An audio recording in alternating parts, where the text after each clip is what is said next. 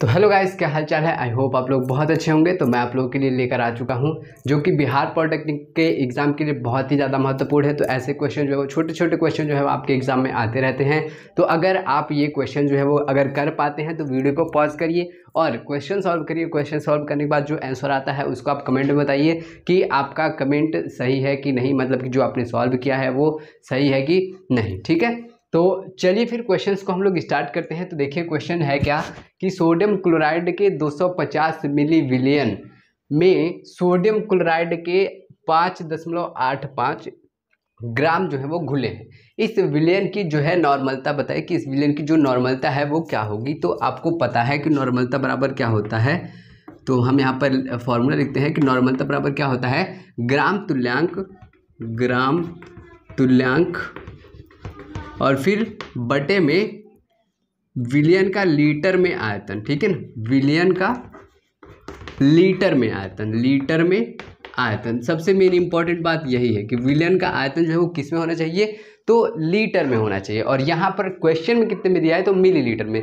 कितने सारे लोग होते हैं? डायरेक्ट ये 250 मिलीलीटर दे तो ये देखते नहीं और सीधे 250 रख देते हैं। ऑप्शन गलत हो जाता है क्वेश्चन का, ठीक है? तो नॉर्मलता बराबर क्या होता है? ग्राम तुल्यांक बटे में विलियन का लीटर में आयतन। अब देखिए, हमको ग्राम तुल्यांक तो दिया नहीं यहाँ पर। कहीं भी ग्राम तुल्यांक दिया ही नहीं है ऑप्शन में तो क्या करें? तो क्या करना है हमको? ग्राम तुल्यांक का भी फॉर्मूला होता है। तो ग्राम तुल्यांक निकालने के लिए हम लोग क्या करते हैं? ग्राम तुल्यांक बराबर क्या करते हैं? ग्राम मतलब जो ग्राम हमको दिया है, फिर बटे में तुल्यांक की बार, ठीक है ना? तुल्यांकी भार, ठीक है? तो ग्राम बटे में तुल्यांकी भार या फिर मॉलिकुलर वेट उसको हम लोग कहते हैं। और अब देखिए, तुल्यांकी भार तो तुल्यांकी भार मान लीजिए हम ग्राम तो निकाल लेंगे, क्योंकि ग्राम हमको दिया हुआ है इतना ग्राम दिया हुआ है, लेकिन हम तुल्यांकी भार कैसे निकालेंगे? तो अगर आपको पता है, तुल्यांकी भार याद है तो ठीक है, नहीं याद है तो आप क्या करेंगे, तुल्यांकी भार भी निकालेंगे। तो तुल्यांकी भार बराबर क्या होता है हम लोगों का? तुल्यांकी भार बराबर होता है अणु भार अणुभार और बटे में आपका संयोजकता। संयोजकता, ठीक है? तो ये क्वेश्चन जो है वो छोटा सा क्वेश्चन है, लेकिन मैं आपको बता रहा हूँ, पूरा एक्सप्लेन करके कि अगर आपसे, अगर मान लीजिए कहीं गलती से ग्राम तुल्यांक पूछता है तो भी ऑप्शन टिक कर ले, तुल्यांक के बाहर पूछे तो भी ऑप्शन टिक कर ले, अगर नॉर्मलता पूछे तो भी ऑप्शन जो है वो आप सही कर ले जाए, ठीक है? तो देखिए, तुल्यांकी भार बराबर क्या होता है? अणु भार बटे में संयोजकता तो हमको तुल्यांकी भार किसका निकालना है? तो तुल्यांकी भार जो है वो सोडियम क्लोराइड का निकालना है। तो सबसे पहले तुल्यांकी भार निकालेंगे, तभी तो ग्राम तुल्यांक निकालेंगे, है ना? वैसे तो आपको याद है तो ठीक है डायरेक्ट रख देंगे कि अंठावन दशमलव पाँच जो है वो तुल्यांकी भार होता है किसका? सोडियम क्लोराइड का। लेकिन यहाँ पर हम निकाल रहे हैं। तो तुल्यांकी भार बराबर क्या अणु भार बटे में संयोजकता। तो अणु भार जो है वो कितना होता है? अंठावन दशमलव पाँच होता है। अणुभार कितना होता है? अंठावन दशमलव पाँच होता है। किसका? एनएससीएल का। तो एन का कैसे निकालेंगे? एन सी एल तो क्लोर अणुभार क्या होता है? सभी को जोड़ देंगे। ग्यारह दिन बाईस, लगभग इसका तेईस होता है। और प्लस में इसका कितना होता है? पैंतीस दशमलव पाँच होता है। ठीक है? तो ये हो जाएगा हमारा पैंतीस दशमलव पाँच। ये हो जाएगा अंठावन दशमलव पाँच। ये हमारा क्या हो गया? अणुभार हो गया। अणुभार भी मैंने निकालना बता दिया। अणुभार बटे में संयोजकता तो संयोजकता कितनी है इसकी? तो ये क्या है? एन है। टूटेगा तो एक एन प्लस में और एक माइनस सी में टूटेगा। यानी कि जितने चार्ज होगा, वही उसकी क्या होती है? संयोजकता होती है। तो एक चार्ज है, यानी कि एक इसकी संयोजकता। यानी कि तुल्यांक भार कितना आ गया? अंठावन दशमलव पाँच जो है, वो क्या आ गया? तुल्यांकी भार आ गया। अंठावन दशमलव पाँच क्या है? तुल्यांकी भार है अंठावन दशमलव पाँच। ठीक है, अब ग्राम तुल्यांक निकालते हैं। डस्टर का आ गया।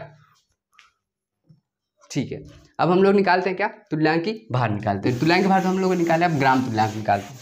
तो यहाँ पर देखिए ग्राम तुल्यांक बराबर क्या होगा? ग्राम तुल्यांक नहीं इधर नहीं निकालते छोटे से जगह पे यहाँ पर निकालते ग्राम तुल्यांक। तो ग्राम तुल्यांक बराबर ग्राम बटे में तुल्यांक की भार तो ग्राम कितना दिया हुआ है? पाँच दशमलव आठ पाँच तो यहाँ पर पाँच दशमलव आठ पाँच लिखते हैं। बटे में तुल्यांक की भार अंठावन दशमलव पाँच तो अंठावन दशमलव पाँच हम यहाँ पर लिख लेते हैं, ठीक है? तो ये हमारे जब इसको काटेंगे तो आएगा ज़ीरो दशमलव वन मतलब कि ज़ीरो पॉइंट वन आएगा, ज़ीरो दशमलव एक जो है हमारा क्या आ गया? तो ग्राम तुल्यांक आ गया। तो ग्राम तुल्यांक की संख्या कितनी हो गई? ज़ीरो दशमलव एक हो गई। उसके बाद से अब बस हमको क्या करना है? नॉर्मलता का निकाल लेना है। तो नॉर्मलता बराबर क्या करना है हमको? नॉर्मलता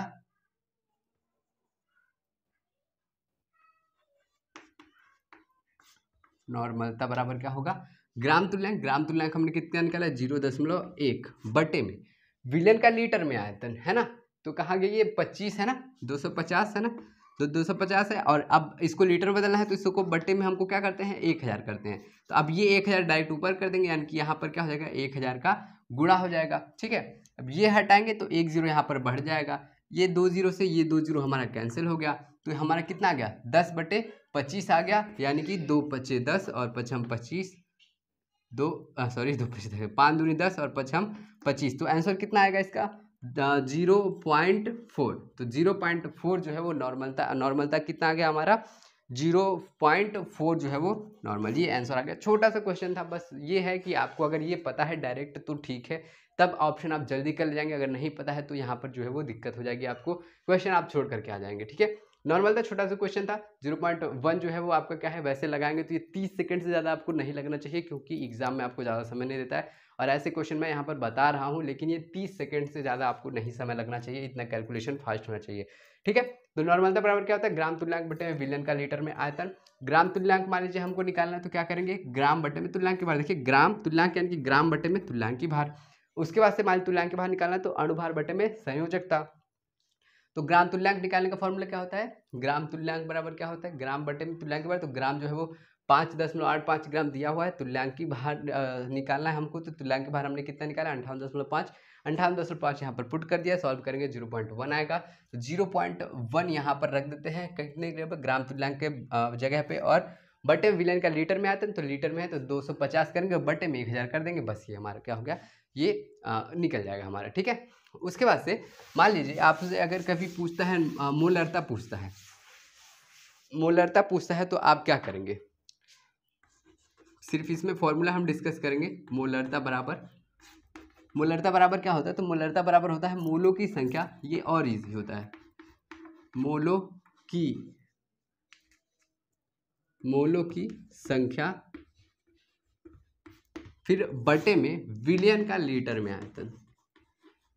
विलियन का लीटर में आयतन। ये होता है मोलरता का फॉर्मूला ठीक है? मोलों की संख्या बटे में विलियन का लीटर में आयतन। तो मोलों की संख्या मान लीजिए हमको मोल निकालना है, मोल को हम लोग किससे दर्शाते हैं? एन से दर्शाते हैं मोलरता को हम कैपिटल एम से दर्शाते हैं। तो अगर मान लीजिए मोलों की संख्या निकालना है तो मोलों की संख्या बराबर क्या होता है? भार बटे में अणुभार। ये होता है मोलरता निकालने का फॉर्मूला ठीक है ना? वेट अपॉन में एटॉमिक वेट तो मान लीजिए हमको भार निकालना है सॉरी मोल निकालना है तो भार बटे में अणुभार, ये हमारा क्या हो गया? मोलरता इससे निकल जाता है, मोलों की संख्या निकल जाती है, भार बटे में अणुभार। बाकी विलियन का लीटर में आयतन जो है वो हम लोग रख देंगे, ठीक है? तो मेरे हिसाब से आपको ये वीडियो जो है वो समझ में आ गई होगी। तो वीडियो अगर अच्छी लगी होगी तो ज़रूर लाइक करिएगा। कमेंट में बताएँगे कि आपको वीडियो कैसी लगी। और हम आपके लिए ऐसी वीडियो हमेशा लेकर आते रहेंगे। तो अगर आप हम लोगों के साथ जुड़ना चाहते हैं और अच्छी अच्छी तैयारी करना चाहते हैं तो हमेशा जुड़े रहिए हम लोगों के साथ में। मिलते हैं आपसे अगली वीडियो में। तब तक के लिए bye bye tata. Thank you.